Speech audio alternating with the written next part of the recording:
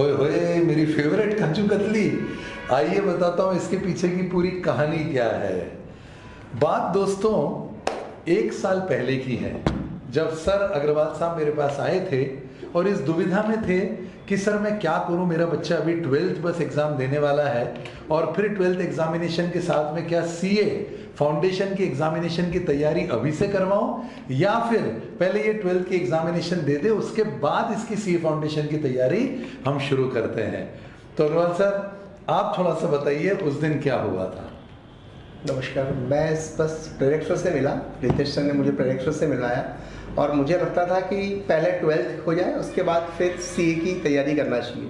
लेकिन प्रेरक सर ने जैसे बताया कि नहीं यार, पहले अपने को ट्वेल्थ के साथ साथ ही सीए फाउंडेशन की भी तैयारी करना चाहिए और फिर प्रेरक सर के गाइडेंस और रूपा मैडम के गाइडेंस से हमने लविश को यहाँ पर इंट्रोड्यूस किया और फाइनली लविश ने अभी ट्वेल्थ की एग्ज़ाम दी है और अच्छा स्कोर किया है। ये सब प्रेरक सर और रूपा मैडम का ही ब्लेसिंग है। अच्छा मतलब इतना अच्छा कि 93 परसेंट सात परसेंट रह गए दोस्तों ने तो पूरा शतक मारते लविश भाई तो। अब यहाँ से जब शुरुआत हुआ तो आपके मन में क्या आया था, सर? जब मैंने आपको कहा था कि ट्वेल्थ प्लस सीए फाउंडेशन की बैच में आप भेज दीजिए बच्चे को तो आपके मन में थोड़ा संशय कंफ्यूजन इनिशियली मुझे लगता था कि पहले ट्वेल्थ हो जाए फिर हम फाउंडेशन की तरफ़ जाएँगे। बट जब जैसे प्रोजेक्ट सर ने बताया कि सर ये बच्चा आप मुझे सौंप दो और हम इसको सीए बना के ही यहाँ से निकालेंगे। तो मुझे लगा कि सर की बात पे बहुत कॉन्फिडेंस है और मैंने जैसा सर ने कहा वैसा किया और सर के सुप्रोदी कर दिया बच्चे को। और आज मैं बहुत खुश हूँ कि लविश सर के साथ है और काफ़ी ठीक कर रहा है। रितेश सर आपको याद होगा मैं तो बाद में आता हूँ पिक्चर में। पहली मुलाकात तो पेरेंट्स की स्टूडेंट की आपके साथ में होती है। तो लवीश भाई से जुड़ी कोई बात आपको याद आ रही है तो आप बताइएगा। बिल्कुल सर स्टार्टिंग में जैसे कि सर ने बताया था कि इनको ट्वेल्थ प्लस फाउंडेशन करना है तो जनरली स्टूडेंट्स बहुत कंफ्यूज रहते हैं कि ट्वेल्थ साथ में चलेगा। इन्होंने जिस हिसाब से फाउंडेशन उसके साथ ट्वेल्थ मैनेज किया वो इनक्रेडिबल है। इनक्रेडिबल है। ऑनेस्टली स्पीकिंग इनक्रेडिबल है। बीच में इनके फादर मेरे पास लवीज की प्रोग्रेस रिपोर्ट पूछने आते थे। Oh. तो हमें बोलना पड़ता था इनको कि सर मतलब लवीज इतना पॉपुलर हो गया था फैकल्टीज में कि किसी भी फैकल्टी से आप पूछें उसको हमें पढ़ने का मना करना पड़ता है। अरे बस अब सो जाओ भाई। बस अब सो जाओ। किताबों को भी आराम की ज़रूरत होती है। रूपा मैम आपके मन में क्या यादें हैं लवीश को लेकर? यस प्रेरक सर मैं बोलना चाहूँगी कि Lavish is a real combination उसके पास में हार्ड वर्किंग भी है वो and he has brains also and जैसा रितेश भाई बोल रहे थे कि एक्चुअली इतनी बार मेरे से टाइम टेबल बनवाया था और बार बार मुझे बोलना पड़ता था लवीश नहीं इतना नहीं पढ़ना है. You have to take ample sleep because and I must say कि सब में फिनोमिनल था। चाहे ट्वेल्थ का रिज़ल्ट बोलो, चाहे सीए फाउंडेशन का बोले। एक्चुअली देखा जाता है कि हर चाइल्ड किसी एक सब्जेक्ट में, दो सब्जेक्ट्स में बहुत अच्छा परफॉर्म करता है। लेकिन ये सारे ही सब्जेक्ट्स में बहुत अच्छा परफॉर्म करता था। और मुझे तो याद आता है रूपा मैम मैं उसके टाइम टेबल में नींद डालता था सात घंटे की। एक्चुअली सेम मैं भी मतलब मैं लड़ झगड़ के मैं सर को बोलता सर और मैम पूछते थे प्रोग्रेस रिपोर्ट मैंने कहा सर बस आप नींद सात घंटे की करवा दीजिए। बाकी मैं पूरी तरह से आश्वस्त हूँ। मैम आप क्या कहना चाहेंगे लवीश के बारे में? सर सबसे पहले मैं ये कहना चाहूँगी सर को और मैम को बहुत बहुत धन्यवाद। आप लोगों की वजह से ही आज लवीश यहाँ आए। लविश बहुत मेहनत करता था, लेकिन उसकी वजह सिर्फ़ आप है। अगर उनको गाइडेंस अच्छा मिलता है टीचर्स अच्छे मिलते हैं तो आज बहुत आगे निकल सकते हैं। शिद्दत से किसी लक्ष्य के पीछे पढ़कर दीवानगी से उसका पीछा करना क्या होता है, ये इतनी सी बात से समझ में आ जाएगा। आप मुझे बता रहे थे, सर, अभी भी जब एग्जामिनेशन के पहले उसका कोर्स दो दो तीन तीन बार हो चुका है, मैं दावे से बोल रहा हूँ। ट्वेल्थ में भी करा, फिर उसके बाद में क्रैश बैच में भी करा।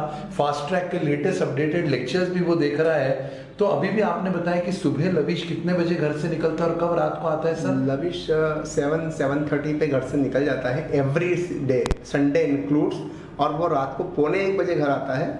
लंच भी बाहर करता है डिनर भी बाहर ही करता है। मतलब घर का खाना तो उसको शायद ही नसीब हो रहा है अभी, क्योंकि चूँकि अब उसकी क्लासेस इतनी है टाइमिंग अवर्स इतना है। और ये सब क्रेडिट लविश ने अपनी मेहनत करी, लेकिन सर और मैडम ने भी बहुत सपोर्ट्स किया तो ही लविश आज यहाँ पे है। तो guidance is more and more important पढ़ाई तो अपनी जगह है बट गाइडेंस भी बहुत ज़रूरी है। आई एम वेरी श्योर कि अभी जून का जो इसका एग्ज़ाम होगा जुलाई में वापस से हम इसी प्रकार से बैठेंगे। वापस बैठेंगे सर हम एक बार। एक वीडियो दोस्तों ऑलरेडी मैं पहले बना चुका हूँ लविश पे आप जाकर देखिएगा ज़रूर।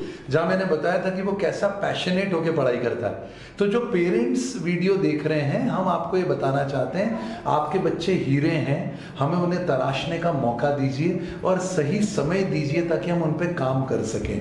सी ये डिफ़िकल्ट या ईजी बिल्कुल नहीं है ये कहना कि ईजी है या डिफ़िकल्ट है। वो इस पर डिपेंड करता है कि बच्चे ने अपना गोल कब तय करा। इलेवेंथ स्टैंडर्ड के सर हमारे पास बच्चे हैं जो भी इलेवेंथ पढ़ रहे हैं और वो हमारे पास आ रहे हैं। तो हम जब दो महीने में बच्चों को फास्ट ट्रैक बैच में तैयार कर देंगे एग्ज़ाम के लिए तो सोचिए दो साल होगा तो कितना लंबा समय है। मैं लिखित में दे सकता हूँ कि उनकी ऑल इंडिया रैंक इतना स्कोर है। कितनी बार उनका कोर्स होगा उससे भी परफेक्शन उनके अंदर आ ही जाता है।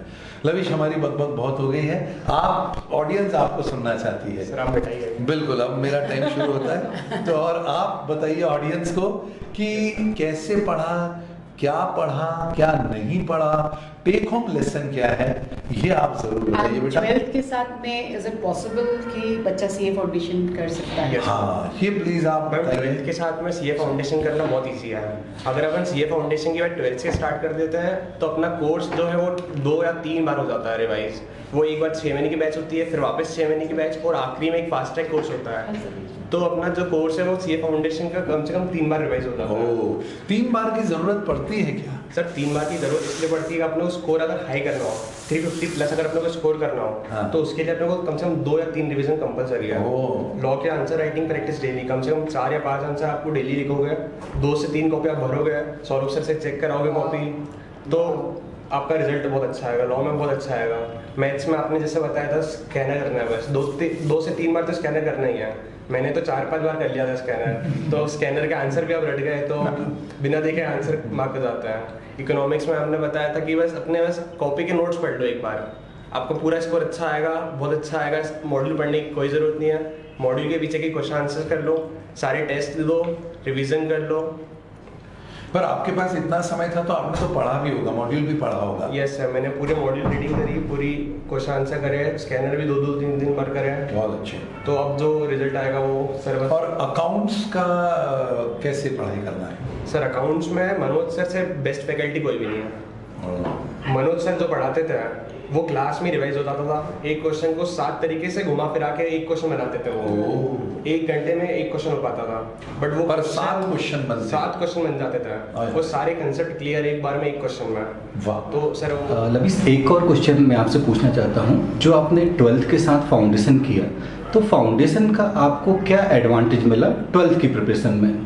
सर जैसे मैंने फाउंडेशन की प्रिपरेशन करी तो जैसा बोलते हैं ट्वेल्थ के बाद फाउंडेशन करना मतलब फाउंडेशन थोड़ा सा एडवांस लेवल होता है। ट्वेल्थ के बाद एडवांस लेवल होता है। तो जैसे मैंने एडवांस लेवल पहले पढ़ लिया था तो जिससे मेरा ट्वेल्थ में जो स्कोर है वो बहुत ज़्यादा बूस्टअप हो गया तो जैसे अकाउंट्स में मेरे को 95 आया आउट ऑफ़ 100 इकोनॉमिक्स में 96 आया आउट ऑफ़ 100 तो ट्वेल्थ की पढ़ाई इजी लगने लगी तो ट्वेल्थ की पढ़ाई मैंने एडवांस लेवल पढ़ लिया था तो बेसिक लेवल बहुत ज़्यादा ईजी लगा लेवल टू का पहले ही स्टडी हो गई तो लेवल वन गया one है। easy।